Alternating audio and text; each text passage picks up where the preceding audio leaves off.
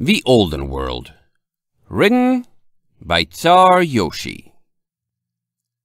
Chapter 69 Advice Gerardo Guillaume soared expediently over Riverfall, making the most of the still towering gap between the tallest house spires and the lowest branches of the canopy. His destination was Ehrenbei's house, and despite his lowered visibility from the pounding rain, it soon homed into view. Alighting on the first floor roof and furling his massive dripping wings, he rapped hurriedly, desiring to stay outdoors no longer than need be. Fortunately, it quickly swung open, and he excused himself into the house before even checking who had opened it. To what do I owe this evening call? Ehrenbei's growly voice asked from the shadows before a warm light illuminated the entire room. Not that I can't make a very good guess, but I'd like to hear it from you. After all, it never does to overextend. Gerardo nodded, seizing several towers from the door rack in his talons and liberally applying them to his feathery face. Myself and two others, requesting departure from Riverfall tonight. That quickly, huh? Ehrenbei chuckled. Sounds like some ponies were eager to skip town. Can't say I blamed them. I don't feel like up to making offers like that every day. If I might ask, whatever prompted you to make such an offer in the first place? Gerardo stepped further forward, allowing the door to comfortably close.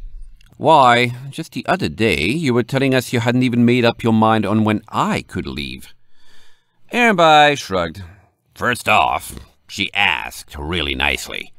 And second, I guess I was feeling generous and maybe a little bad for blowing up that poor filly with another experiment. But what can I say? I got a good feeling about those two. He stepped toward the stairs to the ground floor, beckoning. Come on, let's talk logistics down here. Soon enough, they were standing by the teleporter dais, Ehrenbei lovingly rubbing a hoof over a chunk of machinery. So, you're going to Ironridge? Gerardo nodded.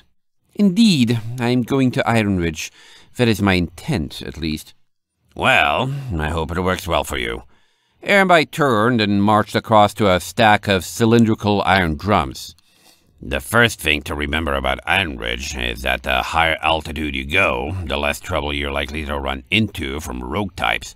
But the tighter security is in turn. Get too low, and you run the risk of bandit attacks, given that you're carrying something they want. Get too high, and you might just tick off some company security guards and make yourself unwelcome around the place. It's a balancing act, you see? His eyes flitted across a large, ornate sword framed on an exposed patch of wall. And make sure you stay armed at all times. Either way, it's a good safety practice. The griffin patted his belt, through which his own sword hung.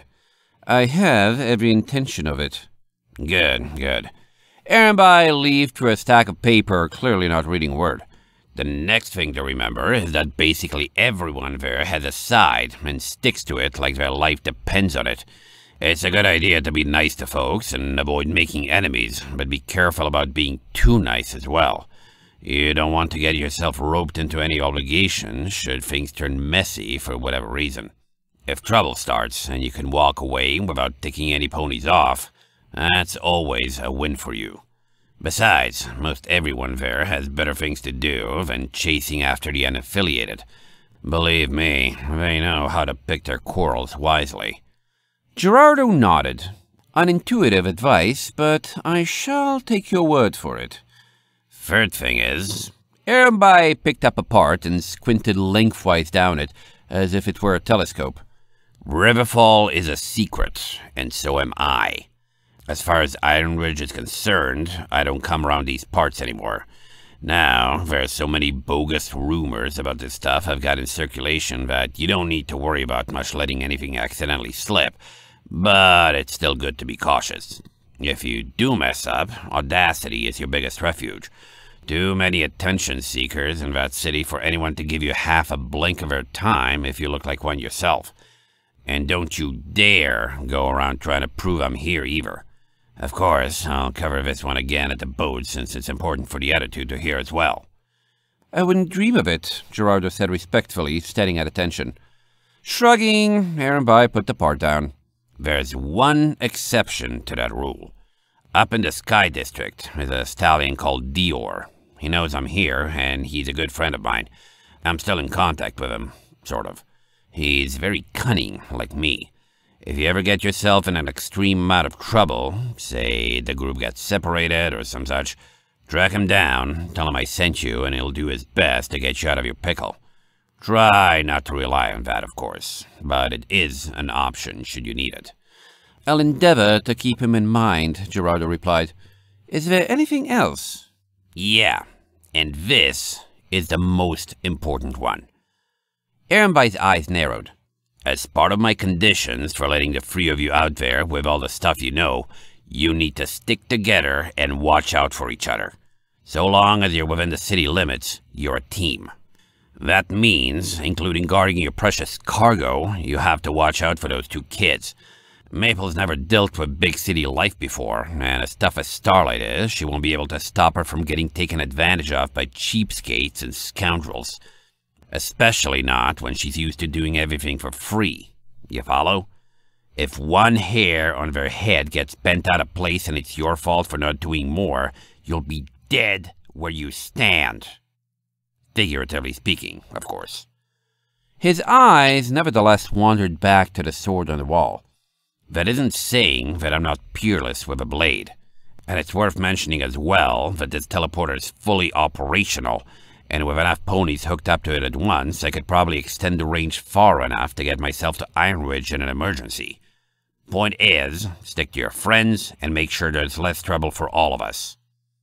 Gerardo gulped, sweating slightly. That sounds perfectly reasonable. Good, good. Ehrenby turned back to the stairs and began to ascend.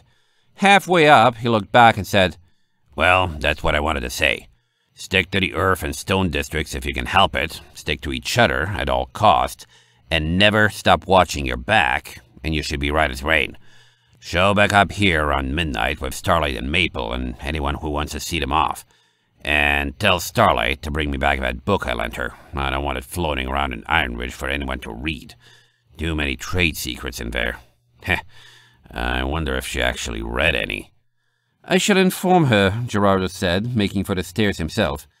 Thank you again for your advice. I do hope this expedition turns out profitable and enjoyable for all involved. So do I, Gerardo, Ehrenby muttered, pacing into the foyer of the house. So do I. End of chapter 69